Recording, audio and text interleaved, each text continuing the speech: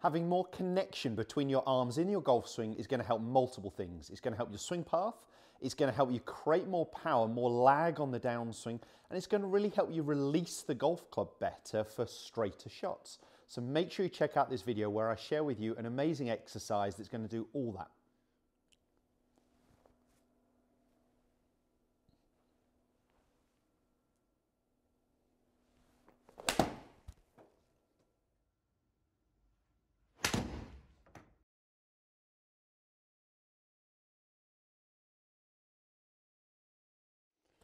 So I love this drill. I use it with a lot of my students. It's probably not the first time you've seen one of these around someone's neck. You'll have definitely seen a lot of the tour players doing it. Now, it doesn't have to have a lanyard part to it, but it's just quite helpful to stop you chasing after the ball everywhere. But just a small football, something pretty lightweight between your forearms would do the trick. And it helps so many areas of the game. Potentially, you've seen this but wondered if it's relevant for you or not in terms of a training exercise. I think it helps so many aspects that I just want to quickly highlight some of them. So, first one would really be that I don't get this trail arm working too high above me in the backswing.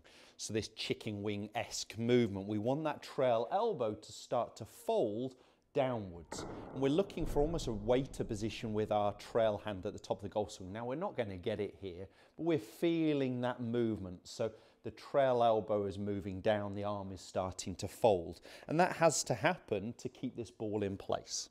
Okay, so it keeps my forearms, if I let that ball drop, pretty close together. We're not seeing this big separation in the backswing. That's going to help multiple things, but it will really help as well the club face position because when we get this trail arm working very high in the backswing, we tend to get a lot of cupping, or the official term would be that the lead wrist would be an extension here and that causes the club face to be open. Now an open club face can be very very destructive unless you're doing something about it. So there are a couple of great players this way excessively at the top but they change direction, change wrist angles. Now if you can do that and repeat it, carry on.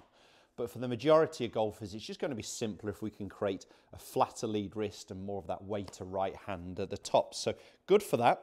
It's very good for our swing path or plane on the downswing in this movement. Again, if I come more over the top, this trail elbow, you will see starts to work quite high. The ball will drop because there is some separation. So it allows me to keep that trail elbow low and in front of me. And that's really going to help allow that club to drop and again improve my wrist angle. So I'm starting to control this club face more. And uh, this isn't the only three, but the last part I'm really going to focus on here is actually going to be this bit, the release movement through the golf ball. So again, we want the forearms relatively close together. We don't want that lead arm now, so it'd be the opposite movement, starting to work out too high in front of us. We want to feel like, yes, there is body, uh, sorry, yes, there is arms in that release movement, but it's really being controlled by what the body's doing. And I'd maybe just start with some small little half swings before building into a full one. The full shot I did, I did not do it at a full pace. I hit it uh, 60 miles an hour with a seven iron. So I, normally I'm at about 88. So I took the speed down to what about 70%, 65%, 70%. Um, I got a, a, good direction on it, but I'm not overly worried about the distance when I'm starting to do this. Once you've got used to it, fine, pick up the speed, pick up the pace of it. So I'm just going to do some little half ones here, working on the trail elbow folding in the backswing. You can see my forearms are quite level. And I'm just going to try and stop here in the release where again you would see that my forearms are pretty level on the way through. So trail elbow to fold down.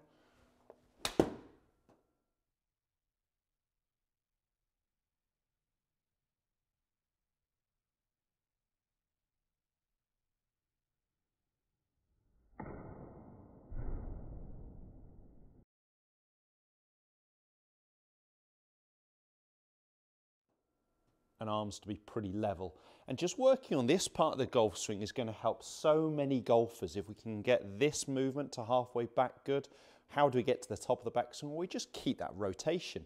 So I just keep working on this left shoulder, working more down in in front of me, and my arms will move up my chest.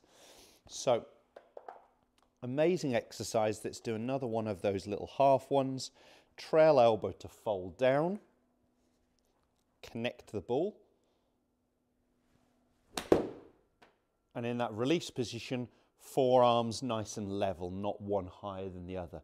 So, I mean, I was talking about on the way through, I wouldn't want to see this lead arm working high and separating, but I, I do sometimes even see the real rollover with the trail arm where the golfer's trying to rescue it and again they would drop the ball. So, so good for multiple areas of the golf swing. Let's do a full shot. So when you do place, place the ball between your forearms, it's got to be almost halfway between your wrist and your elbow, just pinching them in together. It can feel quite awkward to start with. Rehearse the movements we're looking for. If the ball drops, it drops at the finish position. I'm managing to keep it, but I'm keeping it because I'm almost making quite a Tommy Fleetwood-esque movement, almost this short finish. If I finish the swing, the ball would drop. But I actually quite like doing these and actually getting this finish of being able to, or the feeling of being able to stop here. Because it's also good to be able to decelerate the golf club. I won't go into massive detail. I have done some videos on decelerating to be able to accelerate and whipping the club. Very, very relevant but rather than discuss it in too much detail, I'll put some links here that are well worth checking out. Effectively, we've got to be able to slow the club down to make sure we can reach full speed. So once you've done some of those, I would get rid of it. I would do some with it, some without it when you're training. So five with, five without. And just try and get those same sensations of what the trail elbow is starting to do in the backswing fold.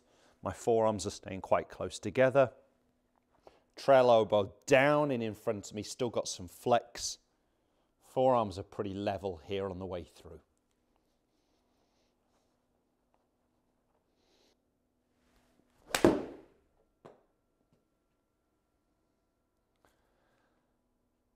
I think it's such a great feel. I think once you've done some of those with the ball, you hit some shots and you almost still feel like it's there and it really helps create some connection.